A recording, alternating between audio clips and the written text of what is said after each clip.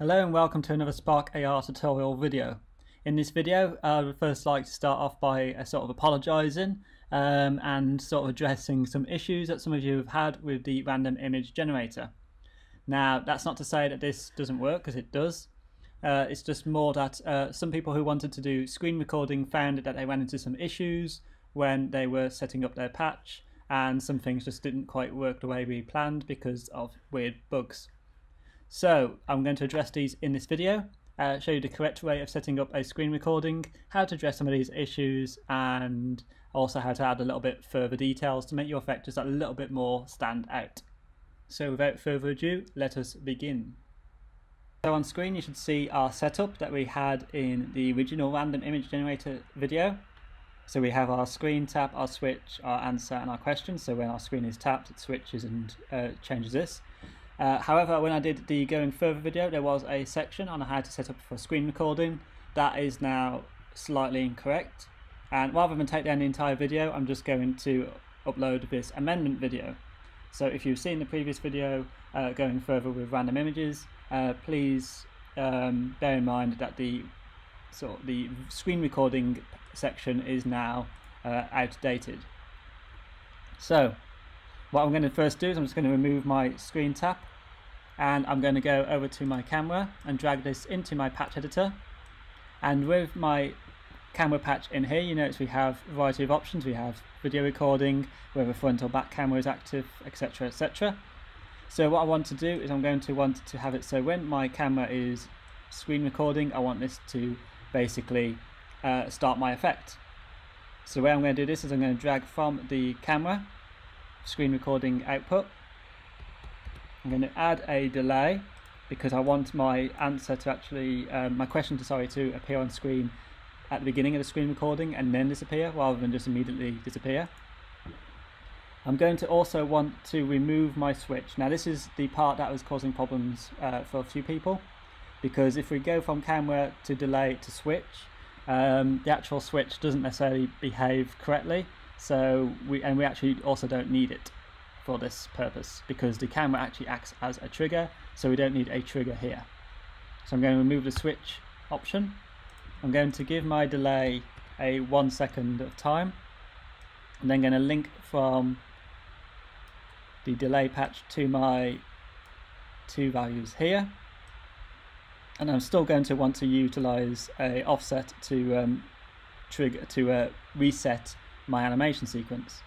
So I'm going to go and drag from my delay to my reset value and it'll throw up this error here. So I need to actually, before uh, in between the two values, I need to click, drag and add a pulse. So when this delay fires, this is going to send off a signal that's going to tell this to fire and reset like so.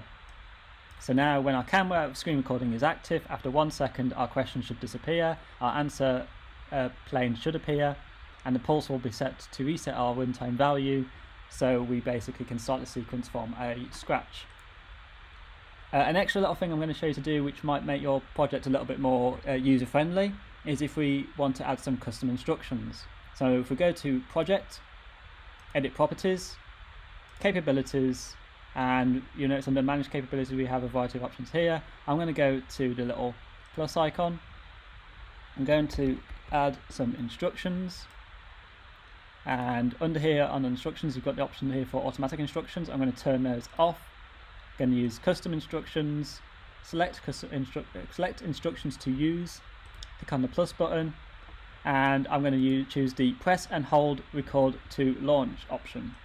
There we go and there we go. So what I'm going to do is from my runtime, I'm going to click and drag and say if my runtime is less than um, X many seconds, so let's say less than uh, six seconds, then I want my instructions to appear on screen.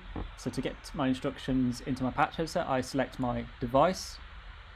I go to the custom instructions arrow here that's now been created. I link this less than to the enabled and now I need to type in the token name. So if I go to project, edit properties, capabilities, instructions custom, you'll notice that we have this press and hold record uh, to launch. The token name is press underscore to underscore launch.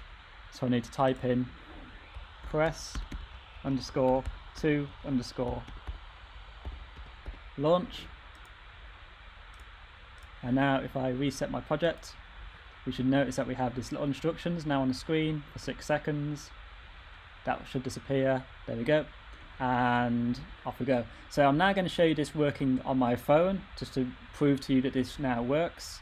And hopefully this will address some of the issues some of you have been running into when trying to use the screen recording option to trigger your random image sequence. So if I launch my effect in this Spark AR player, you should see I've got my message that says press and hold launch to launch, basically hit record.